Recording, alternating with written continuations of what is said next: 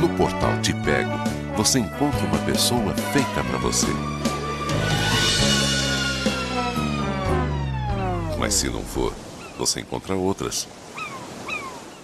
Só Cidade Internet tem o Te Pego, o portal onde você coloca seus dados e encontra alguém para você.